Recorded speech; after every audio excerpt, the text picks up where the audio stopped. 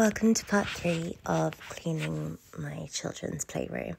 As you can see, my eldest has come in to check up on what I'm doing and make sure I'm not giving away any of her favourite books. And I'm wiping over some of the books that I'm donating. Here you can see that I'm organising the books and colouring books and things that I've put for the bin. I'm splitting everything between cardboard and paper recycling, so they're gone now.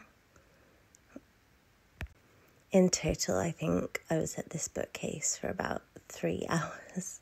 It's definitely taken a while, but with the move soon, we can't carry too many books, and I just want to thin it down first, get rid of the books that are broken that I know that they don't read and then we'll probably go through them all again just before the move and let the kids decide which ones they can part with and then it'll be really thinned down. So I've got another box that I'm reinforcing. I store empty cardboard boxes like this. I break them down and store them in a pile in the hallway at the moment. So they're there ready to make up again when I need to use one. It saves a bit of space.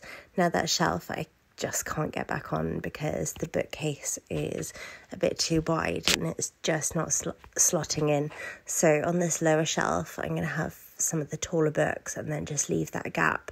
In the new place, I might put the books into a Kallax unit because we've got loads of those and we'll be taking them with us.